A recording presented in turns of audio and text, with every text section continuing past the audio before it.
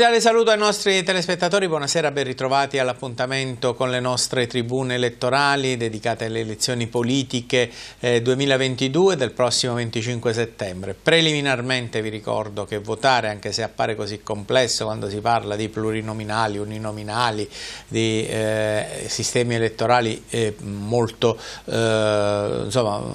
a volte anche astrusi nella loro spiegazione, invece votare è semplicissimo, basta mettere la croce sul simbolo singolo prescelto e il voto varrà alla Camera o al Senato di cui ci occuperemo in questa tribuna elettorale direttamente alla lista, eh, nonostante ci siano i nomi già scritti, però la lista già contiene l'ordine di eleggibilità dei eh, singoli candidati. Eh, oggi abbiamo, eh, come nei giorni precedenti, due candidati eh, che esporranno eh, le proposte elettorali, sono in studio per il Senato, collegio proporzionale Abruzzo, i candidati in studio abbiamo Massimo Pietrangeli di Italexit, buonasera. Buonasera. E abbiamo collegata su Zoom perché è fuori regione Claudia Roselli, capolista di Unione Popolare, buonasera anche a lei. Buonasera, non sono fuori regione ma purtroppo sì. un impegno lavorativo non mi avrebbe permesso di raggiungervi, quindi vi ringrazio anche per questa possibilità che mi state dando. Benissimo, allora io eh, spero che il collegamento vada bene, soprattutto dal punto di vista tecnico, mi pare di sì, quindi possiamo iniziare eh, a eh, parlare di questa sfida al eh, Senato. Innanzitutto presentando per i telespettatori che non li conoscessero i soggetti elettorali eh, che si eh, propongono, iniziamo da Italexit con Pietrangeli, è la prima prova del soggetto nato nato per eh, l'iniziativa eh, di Paragone e eh, che in Abruzzo eh, ha eh, raggiunto il numero di firme necessarie per poter, per poter competere. Nan, innanzitutto, ecco, quali sono le principali aspettative da parte vostra in questa sfida elettorale, visto che si tratta appunto della prima volta? Sì, grazie. Eh, le aspettative non possono essere che positive. E questa, le aspettative però eh, si avvicinano a una quasi certezza che eh, riusciremo a superare il, la quota di sbarramento che è al 3% e chissà che non venga fuori anche qualche sorpresa che ci faccia sorridere ancora di più poi a fine, a fine competizione elettorale. Noi siamo ovviamente, eh, parlo di tutti i livelli, nazionale, regionale, del, degli outsider, riguardo ai giganti eh, della politica, termine abbastanza improprio, si, mi riferisco solo al, al numero delle, delle, dei loro votanti. Però, ecco, dicevo, l'outsider spesso può anche essere eh, vincente, vincente. Noi pensiamo di esserlo non tanto e non solo per la proposta di diciamo, candidati che eh, hanno le loro brave competenze, ma anche perché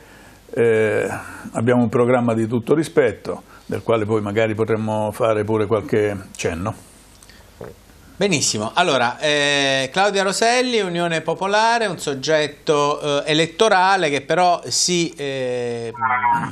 riempie anche di contenuti politici, di forze politiche che già sono attive eh, sul territorio nazionale da eh, diverso tempo, insomma anime varie di un uh, mondo della sinistra che si cerca di unificare in questa eh, esperienza. Anche voi avete dovuto raccogliere le firme, eh, però insomma eh, diciamo che il programma attorno anche alla leadership di De Magistris è stabilito anche da, da prima che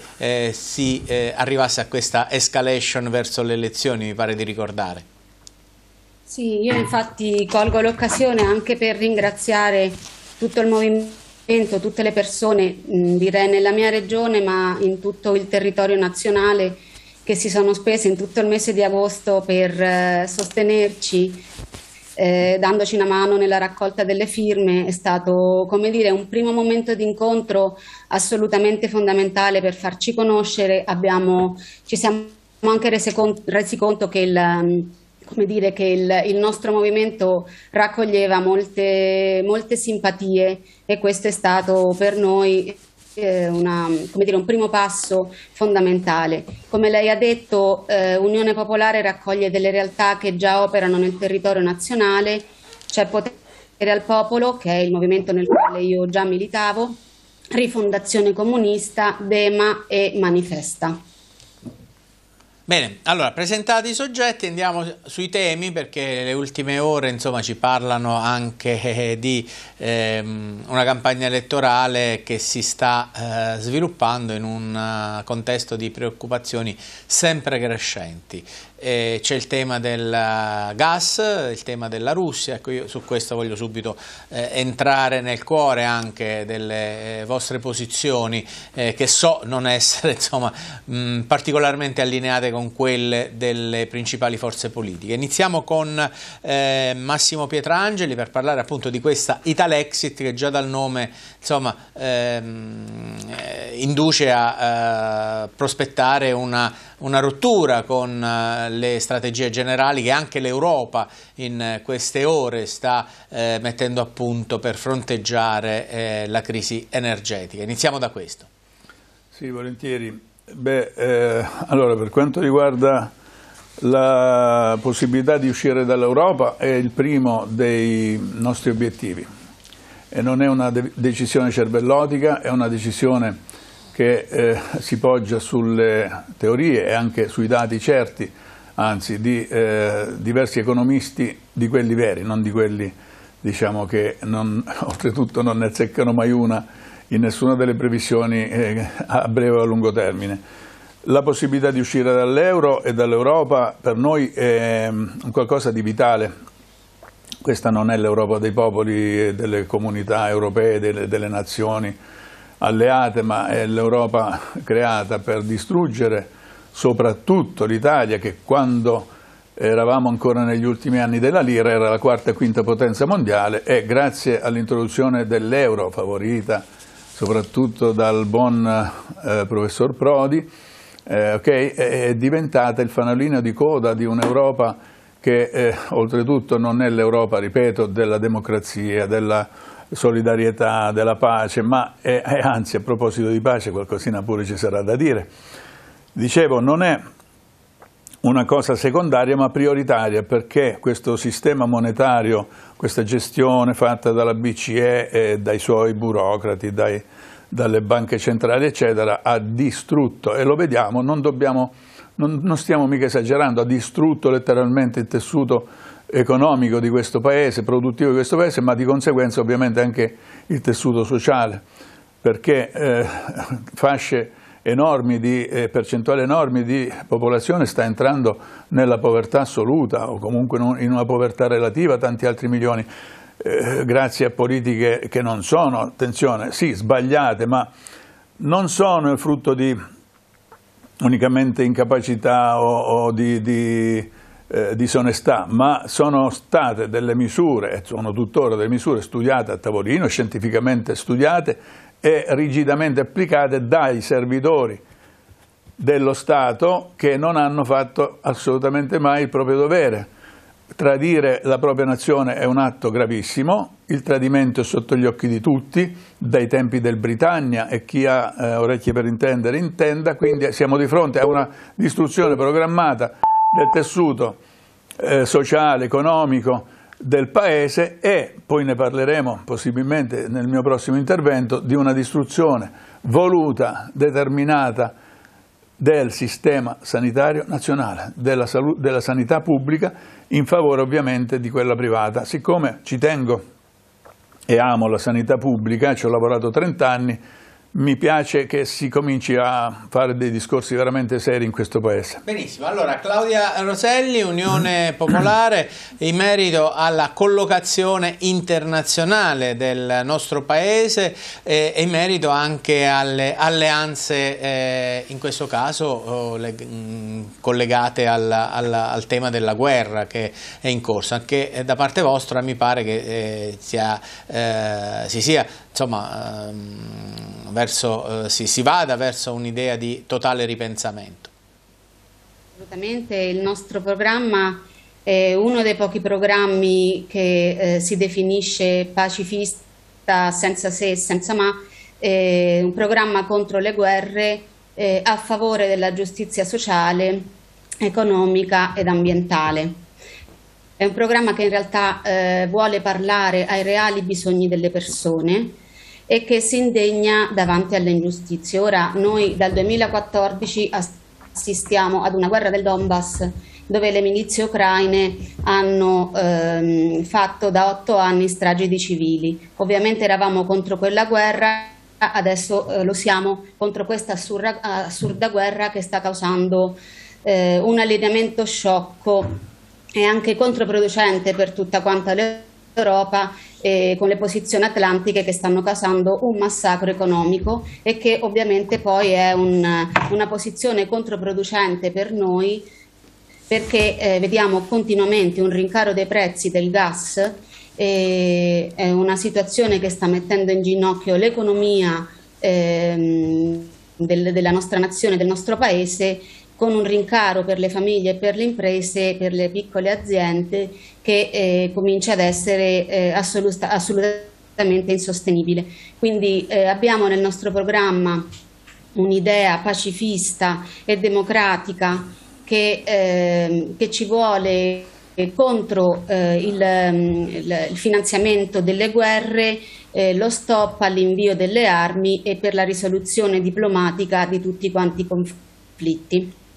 Bene, allora eh, Pietrangeli, andiamo un po' più sullo specifico e anche direi sul concreto sulla questione del gas eh, perché insomma, tutti dicono eh, va superata la ehm, prevalenza dell'approvvigionamento dalle fonti fossili, però insomma, non è una cosa che si può fare dall'oggi al mm. domani. Invece che cosa, eh, se entrate in Parlamento, voi ehm, iniziate a proporre eh, a partire dal 26 di settembre nel concreto per affrontare un autunno e soprattutto un inverno che per il Paese eh, si profila denso di grandi eh, preoccupazioni, anche si teme di grandi eh, perdite di posti di lavoro, di grandi eh, difficoltà che potrebbero ripercuotersi sul, sull'ambito sociale. Ecco, quali ricette immediate per bloccare questa eh, crisi?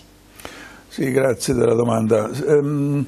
beh certo, eh, prima ancora di parlare delle ricette sarebbe anche utile riflettere sul fatto che questo, questo caro bollette, questa carenza energetica è stata creata da un'obbedienza cieca del nostro Paese ai diktat dell'America e dell'Europa. Perché se non avessimo fatto, non dico gli indifferenti, perché essere indifferenti a una guerra, ma nemmeno parlarne, ma se ci fossimo comportati in maniera un po' più critica, e qui concordo perfettamente con, con le parole della Rosselli, probabilmente non saremmo qui a ragionare di una entrata in guerra ancora più eh, diciamo, diretta, un impegno ancora più diretto. E, e, quindi è giusto che si dicano queste cose perché l'Italia sta operando esattamente un suicidio dal punto di vista economico e anche sociale su diktat di paesi esteri. Non abbiamo in noi una nostra indipendenza ed è quello per cui maggiormente ci battiamo, un'indipendenza che vada sì sulla, sulla, sui concetti della, della, moneta emessa non più a, a debito, ma anche eh, ripeto, su un'indipendenza reale della nazione Italia, che ormai non si può dire manco da decenni, da secoli siamo stati sempre colonia di qualcuno, ma sarebbe anche ora che veramente decidessimo di, di fare di meglio. Eh, riguardo alle ricette, quindi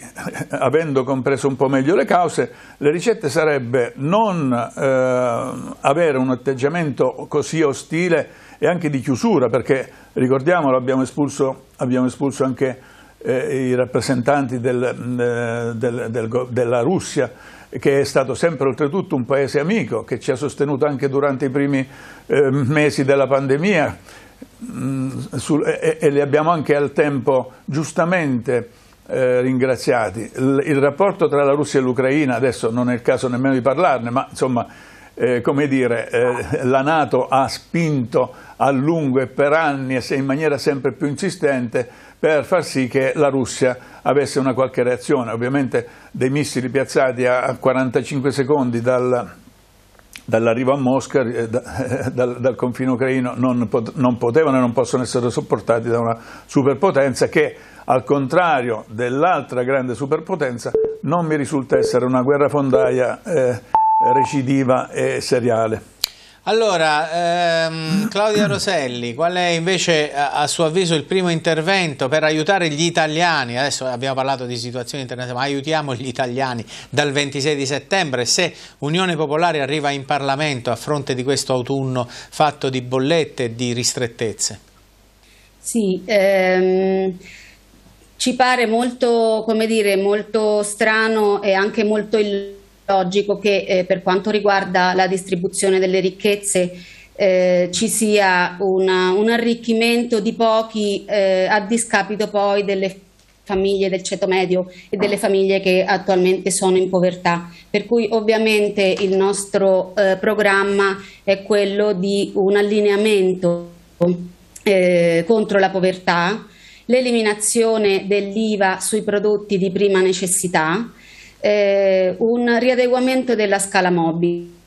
quindi l'adeguamento dei salari al, al caro vita. Eh, riaffinare il reddito di cittadinanza e sicuramente partire da una riforma del lavoro che eh, combatta il precariato e dia un, un, salario minimo di almeno 10 euro l'ora. Eh, mi è sembrato mi sembra un po' come dire illogico, eh, ho parlato con molte persone eh, in questi giorni, eh, ho la, la, netta sensazione che ci sia una sorta di sconforto per cui parlare di 10 euro l'ora o parlare di eh, riqualificazione della sanità, eh, della pubblica amministrazione,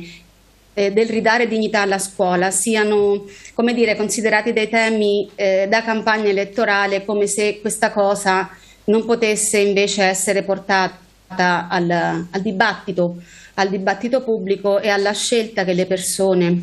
eh, possono fare. Eh, quindi per quanto mi riguarda assolutamente importante puntare sulla sanità e sul, eh, sul dare la possibilità a tutte quante le persone di curarsi in realtà anche nella propria regione, quindi eh, tentando di abolire o di contrastare l'autonomia differenziata, e di dare una buona, ehm, una buona eh, capillarità al, alla sanità pubblica eh, anche nei piccoli territori. Ora noi abitiamo in Abruzzo in un territorio dove dove ci sono molte aree interne che, vengono, che sono completamente dimenticate, dove non ci sono servizi pubblici, dove manca il trasporto, dove, manca, eh, dove mancano anche generi di prima necessità, eh, dove non c'è una, una, la possibilità di, di, avere una medicina territoriale. Questi sono tutti punti che sono a noi cari e che eh, puntiamo a, a, a, dire, a rendere possibili eh, con il nostro ingresso in Parlamento. Un nuovo giro di domande e risposte, stavolta invertiamo l'ordine, partiamo proprio da lei Claudia Roselli su un tema che è strettamente legato al primo, cioè lei ha parlato di interventi massicci da parte dello Stato per sostenere tutta una serie di servizi che sono stati dimenticati negli ultimi anni, decenni, eh, esiste però il, il tema delle, di come eh, trovare la provvista per, eh, per, appunto, per permettere allo Stato di eh, aumentare i salari, di rinnovare i contratti e di ehm, appunto introdurre anche il salario minimo e altre misure che voi proponete. Ecco, il tema fiscale di cui si parla sempre poco perché eh, in campagna elettorale eh, quando si parla di fisco c'è sempre qualcuno poi che pensa di essere penalizzato. C'è questa proposta della flat tax del centrodestra, voi che tipo di impostazione dareste in una riforma del sistema eh, fiscale eh, nel nostro Paese? Allora, sicuramente far pagare più tasse a chi, più, a chi ha più soldi e una tassazione eh, degli extra profitti. Questa è una cosa che eh, ho sentito anche aver, eh, mh, come dire, avete dialogato anche con il mio collega la scorsa settimana, Emanuele Mancinelli.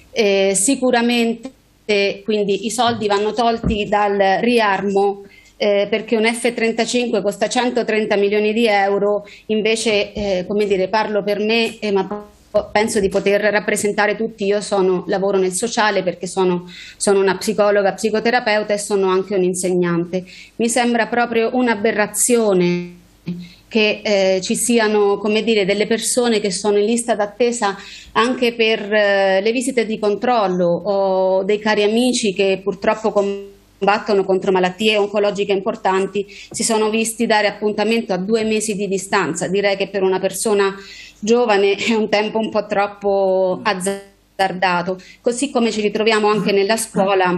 a eh, come dire, gestirci noi, organizzare, organizzare banchetti, organizzare bancarelle, mercatini di Natale per avere dei fondi eh, extra, ovviamente che poi il Ministero non ci dà, eh, per garantire una gratuità anche dei dei, dei, piccoli progetti che per esempio organizziamo ma che sono assolutamente fondamentali per i nostri bambini e per le nostre bambine. E, ehm, quindi penso che eh, siamo stati definiti la, come dire, il Robin Hood della situazione, no? volevano prenderci in giro e, ehm, e, invece in qualche modo è stata data questa bellissima immagine che assolutamente ci rappresenta togliere ai, ai, ricchi per dare ai poveri non mi sembra un, dire, un discorso così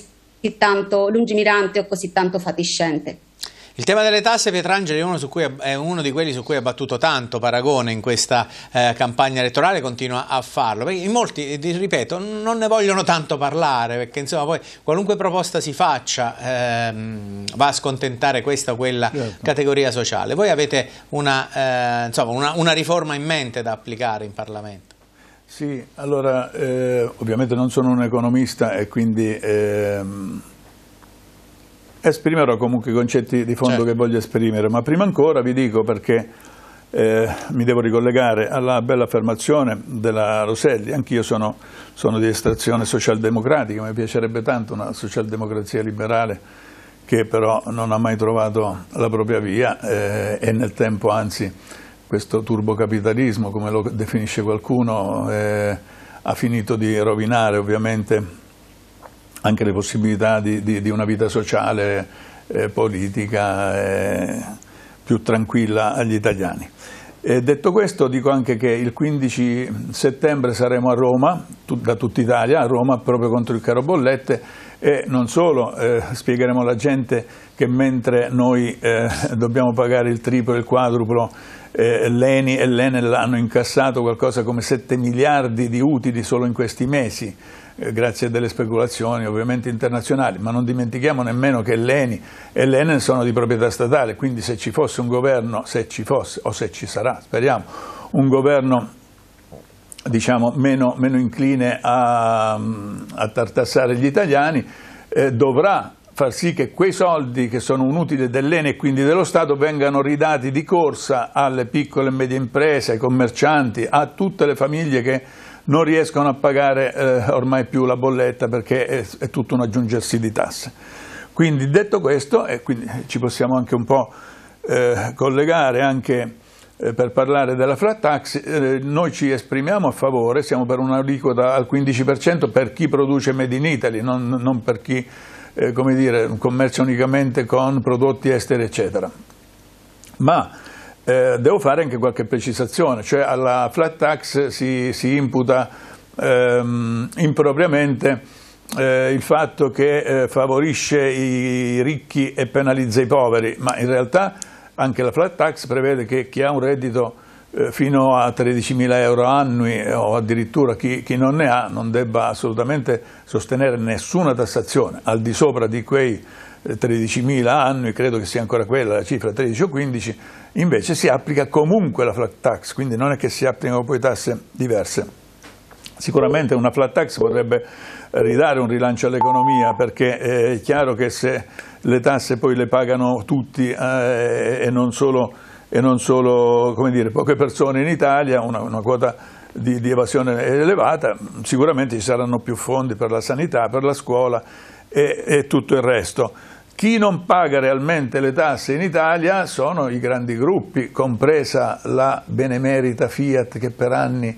ha eh, regalato soldi all'Italia, agli operai italiani e che poi, eh, come dire, eh, quando eh, l'aria è cambiata, quando i tempi si sono fatti un po' diversi, ha eh, chiuso del tutto proprio le sue attività nel nostro paese per per andarle a, ad effettuare altrove. Bene, andiamo a parlare di un tema che avete già accennato in parte con le vostre risposte, appunto essendo anche in qualche modo addetti ai lavori. La vostra valutazione su questo, insomma, ehm,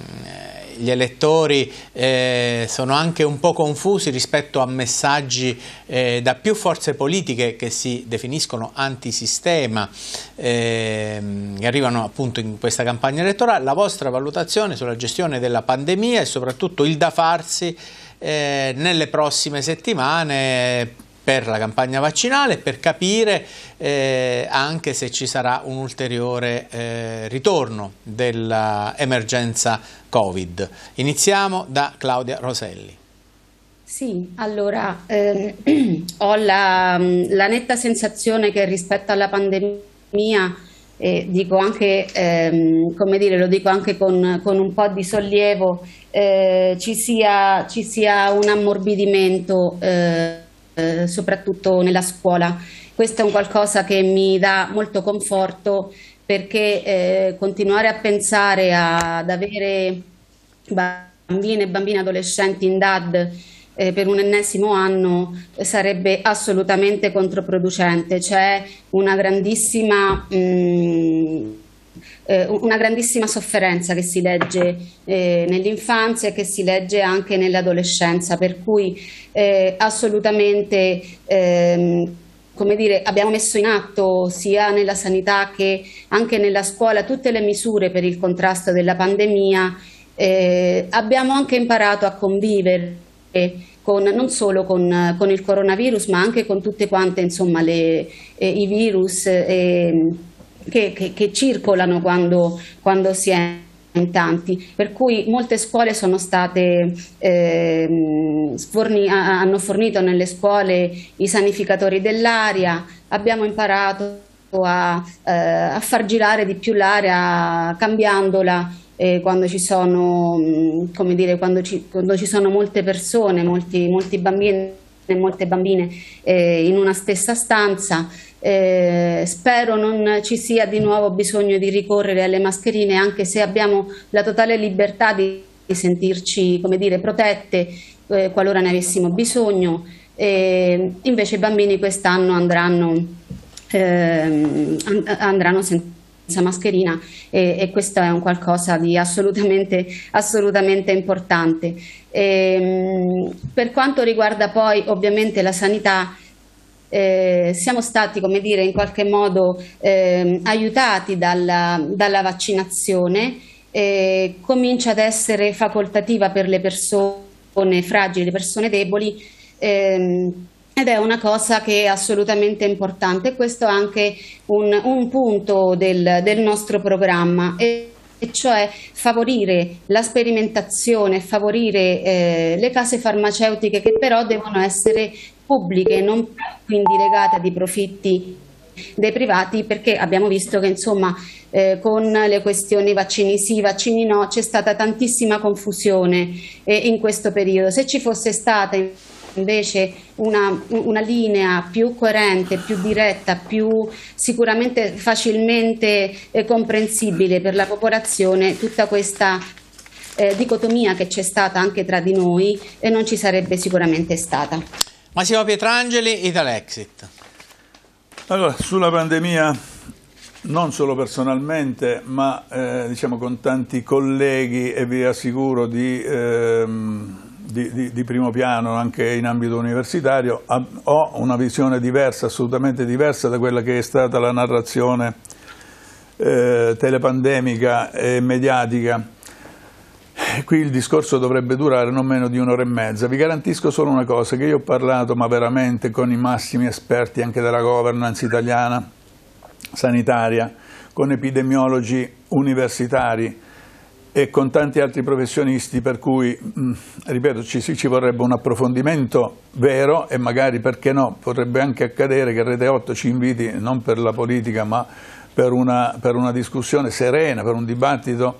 sereno e tranquillo con coloro che sostengono il contrario, che sostengono che dobbiamo fare ancora milioni e milioni di tamponi al giorno per poi eh, individuare uno zero punto di eh, positivi, no scusate, di malati, perché poi sulla positività sul, de, di un tampone rispetto alla, alla vera realizzarsi della malattia ce ne corre. Noi abbiamo vissuto di favole in questi due anni e mezzo, ormai quasi tre, abbiamo vissuto di notizie che sono state sempre soltanto unilaterali e quindi di, di pura propaganda. Riguardo all'utilità dei vaccini, ecco, ci sarebbe, mi dispiace qui, non posso non eh, contraddire per il mio parere personale la eh, Roselli,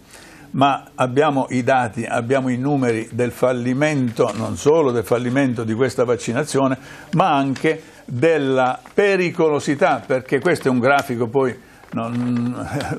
chi mi chiama darò, darò il riferimento, il link, questi sono grafici, sono dati che dimostrano come la mortalità infantile e giovanile abbia avuto un picco, si dovrebbe vedere da queste parti,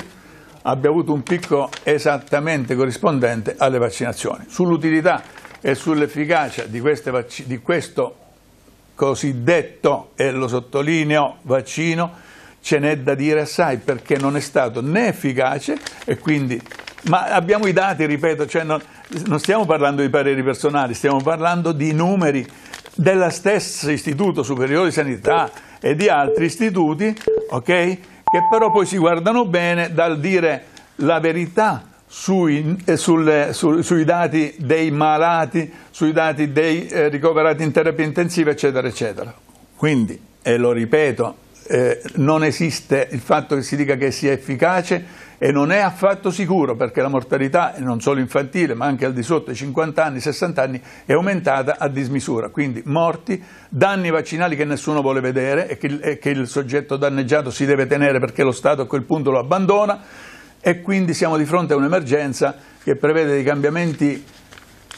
fondamentali e veramente epocali in una sanità che voglia eh, essere degna di questo nome. Allora, noi adesso ci stiamo avviando alla fase conclusiva di questa eh, tribuna elettorale, eh, insomma, voi eh, naturalmente ambite ad entrare in Parlamento, a superare la soglia dello sbarramento eh, del 3%, perché ricordiamo non siete nelle due coalizioni principali. Ecco, le due coalizioni principali soprattutto ehm, arriveranno nei prossimi giorni gradualmente a fare appelli riguardo al voto utile. In quei collegi uninominali che fanno parte eh, insomma, della, mm, che sono un po' l'ago della bilancia di, questa, di, questa, di, questa, di, questo sistema elettorale in Italia. Ecco, come convincere? Voi siete un po' più a sinistra, un po' più a destra come collocazione che ovviamente molto grossolana, eh, però insomma, come convincere, per esempio, lo chiedo a Claudia Roselli dell'Unione Popolare, a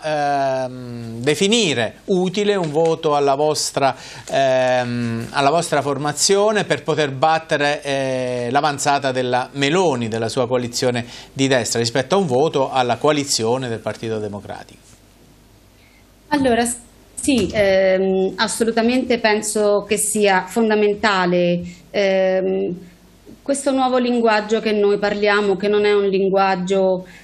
eh, dicotomico, per cui da una parte ci sono i, i normali e dall'altra parte ci sono, eh, così come ho sentito, insomma, dai discorsi eh, della Meloni, i, gli anoressici piuttosto che gli obesi, piuttosto che i matti, così come eh, c'è un, un, totale divario tra, eh, tra, le persone, per cui eh, veniamo classificati e definiti in base al genere, in, ai generi, in base a, alle nostre, al colore della nostra pelle o alle nostre religioni. Io eh, l'appello che faccio ovviamente rispetto al voto è eh, come dire dare fiducia ad una coalizione che è pacifista, che è eh, femminista e che è eh, contraria al, alle guerre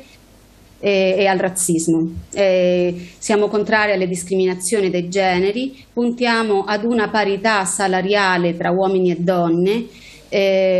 Eh, per quanto mi riguarda penso sia un qualcosa di assolutamente utile e fondamentale ehm, ribadire il, il, totale sostegno alla legge 194 che, ehm, che, dà,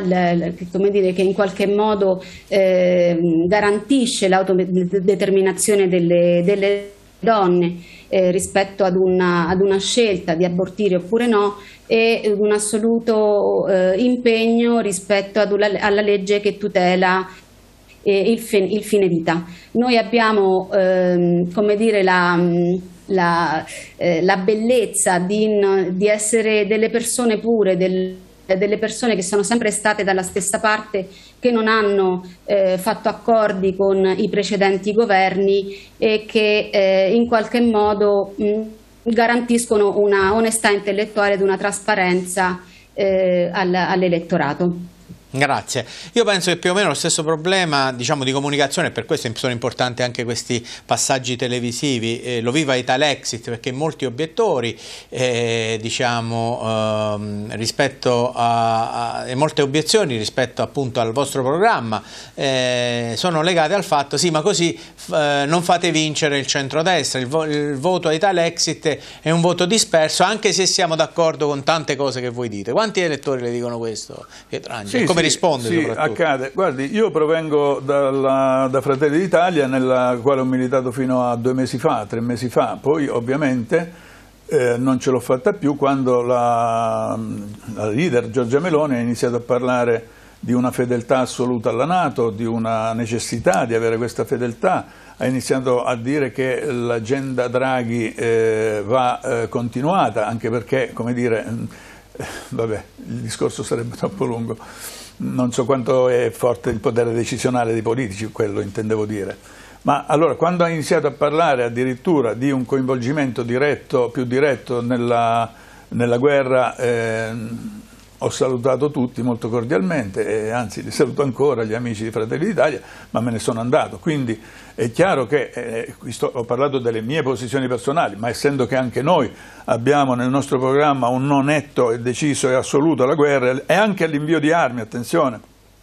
ovviamente non possiamo eh, dire, far prevalere il fatto che non, non perde il centrodestra, che comunque in questa ondata vincerà alla grande e vincerà perché la sinistra ha voluto lasciargli la patata bollente da gestire adesso che entreremo in una crisi ancora molto più profonda perché ragazzi io sinceramente quei leader o anche, insomma, anche nostrani che vanno in giro con un sorriso a 32 denti quando la situazione è drammatica sinceramente non li sopporto molto lo dobbiamo dire, avremo un ottobre, un, eh, forse già settembre stesso tra poco, un ottobre, comunque un novembre, un inverno molto difficile, se continuiamo ad avere queste persone al loro posto non ne veniamo fuori. E anzi personalmente, qui esprimo un parere personale e forse non solo, comunque qui vanno azzerati tutti, tutti i vertici istituzionali, non solo quindi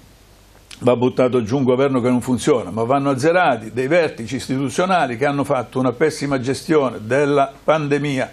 della sanità in genere, ma anche della scuola, della giustizia, dell'amministrazione pubblica a tutti i livelli. Questo non è più un paese da riformare, lo abbiamo visto, sono 50 anni, 60 anni di riforme e la riforma scolastica ha portato a, a, a delle situazioni sempre peggiorative, la stessa cosa uguale, identica per la sanità, eccetera. Quindi questo è un paese da rifondare. Noi abbiamo le idee molto chiare, sia per l'economia perché la eh, nazionalizzazione, il, il ritorno a una sovranità nazionale, quindi monetaria anche, implica dei vantaggi enormi, sia pure con dei, degli scossoni iniziali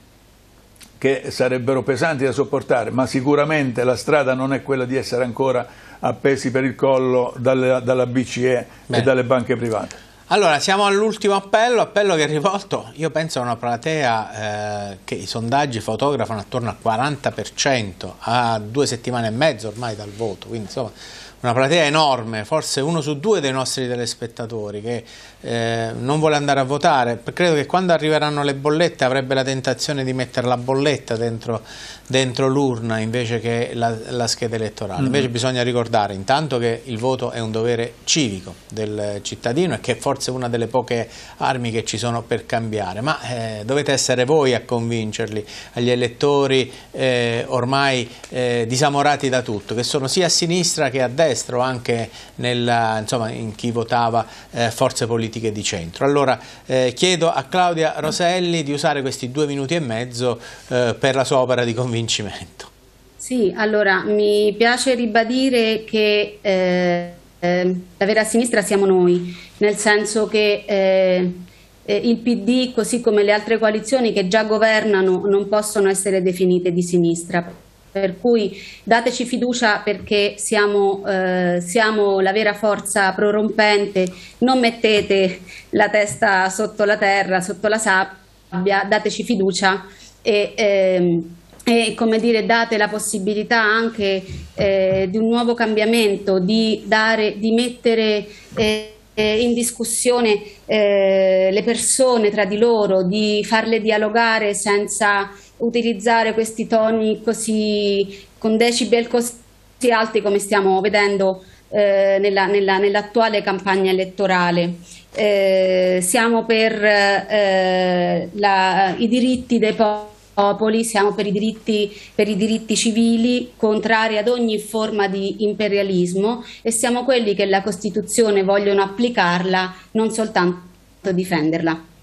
Grazie a Claudia eh, Roselli che salutiamo, collegata eh, via eh, Zoom e, e, chiudiamo con Massimo Pietrangeli in studio, ovviamente con un appello rivolto ai tanti, tanti, tantissimi indecisi. Sì, io parto dicendo che eh, non solo rispetto ma per tanti versi condivido anche eh, l'impulso a non votare, la, la, la, la, convinzione di non votare, però eh, ritengo che non sia una buona scelta, ve lo dico sinceramente, perché se è vero che da una parte eh, si, si, possono disinteressare anche eh, se va a votare soltanto il 40% delle persone addirittura il 30%, un governo sarebbe comunque fatto e sarebbe magari un governo tecnico, altro capolavoro del, de, del, della nazione Italia. Eh, prima di concludere, anche di fare un appello più, più esteso, vorrei dire, ricordo a tutti che il 15 di settembre, tra pochi giorni, andremo a Roma in massa a chiedere, a protestare contro il caro bollette davanti alla sede dell'ENI a Roma e eh, la restituzione alle piccole e medie imprese, agli italiani tutti, delle cifre che devono comunque sborsare per una rifornitura che eh, è diventata più, più costosa. Approfitto anche per dire che eh, avremmo il piacere anche di incontrare le categorie eh, del, dei vari di, di Confesercenti, Confcommercio eccetera e magari perché no, soprattutto i rappresentanti dei balneatori perché come sapete tutti la Bolkenstein, questa una legge eh, europea splendida prevede che eh, degli stabilimenti balneari, delle concessioni tirate su con fatica ma anche con tanto entusiasmo eh, per renderli così accoglienti in tutta la, la, penisola siano messi all'asta e che quindi possano diventare proprietà dei cinesi come dei, eh, di tutti gli altri eh, che volessero prenderli. Non lo ritengo giusto, non lo riteniamo giusto, pensiamo che vada fatta una battaglia mh, importante anche a quel riguardo. E poi ancora, eh, raccomando, chi vuole che non sia più prorogato il, eh, la carta nazista del Green Pass e deficienze simili, eh, la, la, vaccinazione obbligatoria, eccetera, eccetera, beh, ci può votare con fiducia perché il nostro impegno sarà anche quello di effettuare una commissione d'inchiesta sulla gestione della Covid, perché questi signori che hanno barato, che hanno continuato a mentire quotidianamente e che quindi sono responsabili di morti e di danni importanti alla salute devono essere messi sotto processo, serenamente ed equamente, non, non accenniamo al processo di Norimberga o cose simili, ma vogliamo dei processi equi, vogliamo portare i responsabili anche della distruzione